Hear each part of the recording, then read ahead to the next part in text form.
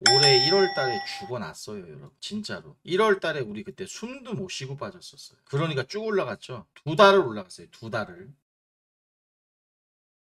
근데 지금 이게 빠지면 이, 이 빠지는 연결고리가 나온단 나온단 말이에요, 지금. 그럼 빠질 폭이 다 빠진 상태에서는 그러니까 이런 겁니다. 여기도 보면 마지막 고점이 여기란 말이야. 하나, 둘, 셋, 넷, 다섯으로 다 빠졌죠. 완성이 된 거죠. 빠질 때도 그냥 이렇게 빠지지 않아요. 외곽격으로 절대 안 빠진단 말이에요. 이 지금 줬다 빼는 거란 말이에요. 근데 여기 굉장한 지지대가 있기 때문에 빠지기가 힘들어요. 여기도 걸려 있고 이 수많은 박스권 매물이 걸려 있기 때문에 그리고 우리나라 지금 연간 영업이익들 보면은 1분기만 봐도 알겠지만 목표 달성은 아니지만 꽤 선방하고 있다. 수출 데이터 보면은 계속 잘 나온다고 나오잖아요. 뭐 18개월 연속이다. 뭐 어쩌다 얘기 나오는데 그러면 깨져도 중간 정도만큼만 깨진다. 그 정도로 봐야 돼. 그러니까 누가 봐도 여기는 깨지가 굉장히 힘든 자리예요. 우리나라. 지난 15년, 20년간. 그럼 빠져봤자 100포인트. 근데 물론 100포인트 빠지면 난리 나죠. 제가 말하는 건 그냥 빠지면 빠지게 냅두세요. 미치게 날뛰어야 그 다음에 날라. 근데 이런 겁니다. 그럼 그 다음에 날라갈 것까지 예상해보면 들어 이거예요. 지금 후보들이 있죠. 그 후, 그 중에 후보가 하나가 원전 같은 애들. 화장품. 저는 원전이 끝났다고는 안 봐요. 이게 아직까지 체코 수주전도 있고, 이번에 UAE도 나왔지만, 아직 내러티브가 많이 남아있다. 이 화장품. 왜? 1분기가 비수기인데,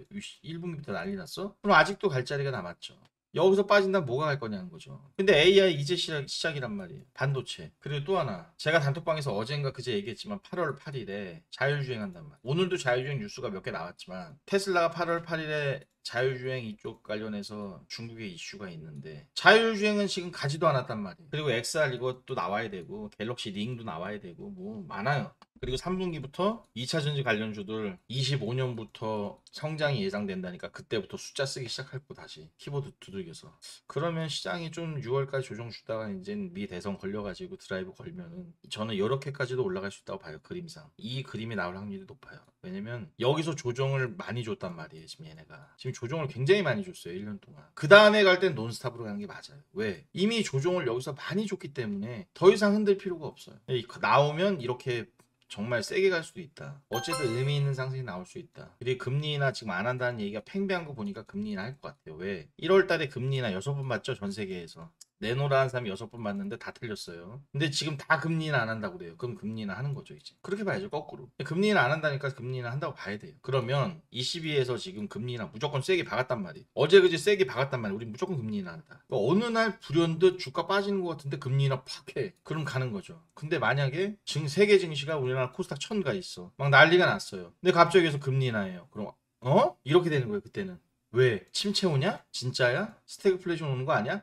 그땐 빠지겠죠. 그 차이에 어느 정도 지수들이 위치해 있냐에 따라서 그 내러티브를 어떻게 받아들이느냐. 그건 뭐 선택하게 선택하게 달렸죠. 그런 거 이벤트들 다 끝나고 좀 정상적으로 되면 종목들 또 다시 저는 반드시 그렇게 된다고 봐요. 이렇게 된다고 봐야 돼요. 무조건. 끝도 없이 내려갈 것 같아도 한두 달 버티면 그냥 올라가요. 이렇게 장이 안 좋을 때는 아침에 뭐만 보면 되냐? 내 주식 보지 말고 에코프로, SK 하이닉스 요새 안 좋았던 2차 전지 관련 value chain들 그걸 방어치는 현대차 이런 한 6, 7가지만 보면 장이 아 이거 좀 돌아서겠구나. 그걸 알 수가 있습니다. 내 주식을 보면 안 돼요. 내 주식은 3분만 보고 남의 거 봐야 돼요 빨리. 니케이랑 나스닥 대만. 이게 최고고 여기 가보면 코스닥 코스피가 거의 꼴찌에 육박해요. 이 망에 빠진 브라질. 이런 나라랑 동급이에요 우리나라. 요 정도의 위치에 있다 지금 우리나라 상태가. 연간으로 보면 터키가 제일 세요 지금. 그 다음 대만. 여기 보시면 제일 중요한 얘기는요. 하락했다고 팔아서 멍청한 짓 하지 마라. 아니면 흔들리는 걸 버텨야 된다. 이 얘기가 아니에요. 여기 지금 보이시죠? 정서적인 준비가 안 돼 있어. 이게 핵심이에요.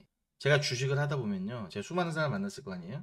정서적으로 기본이 안 된 사람이 있어요. 그건 천성이에요. 그러니까 천성적으로 주식을 하면 안 되는 사람들이 있어요. 열에 다섯 명이 그래요. 특히 우리나라 사람이기 때문에. 이 빨리빨리 환자인 이 나라이기 때문에 다섯 명이나 되는 거예요. 이 우리나라 사람들 정서적으로 안, 준비가 안 된 사람들이 굉장히 많아요. 그걸 어떻게 해야 돼? 부단히 노력해야 돼. 엄청나게 노력을 해야 돼. 좀 기술적 분석이나 뭐 이런 게 아니에요. 이 사람은 정서적인 걸 노력을 해야 돼. 뭐 사서오경을 읽는다든가. 그러니까 주가가 짜, 빠지는 거에 대해서 너무 이렇게 신경을 쓰면 안 돼요. 스트레스 받죠. 근데 제가 말씀드린 주식은 원래 원래 미치게 빠졌다가 미치게 올렸다 미치게 빠졌다 올렸다 이게 이- 이런 애예요 DNA. 근데 이 바닥에 들어와서 그런 DNA를 내가 겪지 않겠다. 굉장히 힘들어요. 아무리 좋은 주식도 어 생각보다 훨씬 빠질 수도 있어요. 그거를 워렌 버핏, 조지 소로스, 피터 린치 아니 그 어마어마한 대가들도 야 주식 진짜 어렵다. 야 나 옛날에 깡통 찰 뻔했어. 친구들한테 맨날 놀림 받고. 아니 근데 본인은 안 그러겠다. 아야 누르면 난리나. 이거 왜 이래? 그냥 미치게 눌렀다나 흔들렸다 가는 게 주시장이니까 그냥 그러니 해야 돼요.